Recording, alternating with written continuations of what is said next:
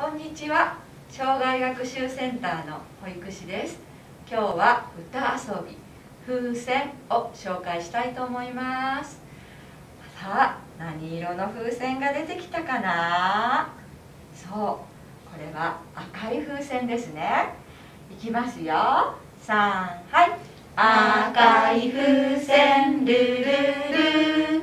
そっと風にあげたら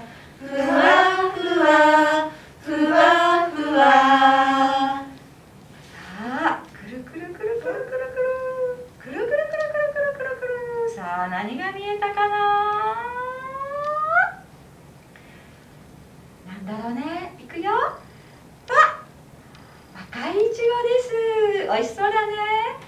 赤いいちごになった。次は何かな？あ、何色の風船かな？青い風船が出てきました。じゃあ一緒に歌いましょう、青い風船ルル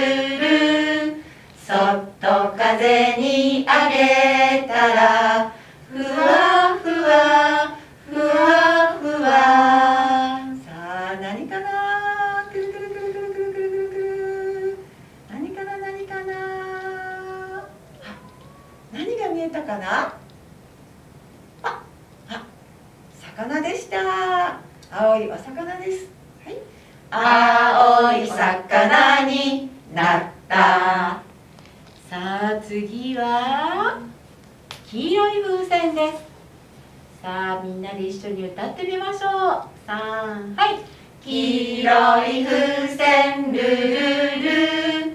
そっと風にあげたらふわふわふわふわ。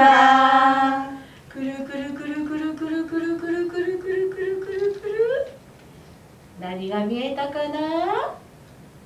あバナナです。さあはい。黄色いバナナになったさあ次はいろんな風船をあげてみたいと思います。みんなで一緒に歌ってみてくださいね。さあはい。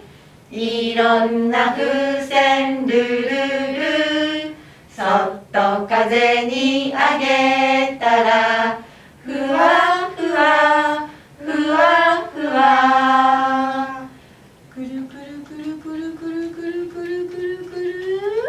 さあ何ができたかな？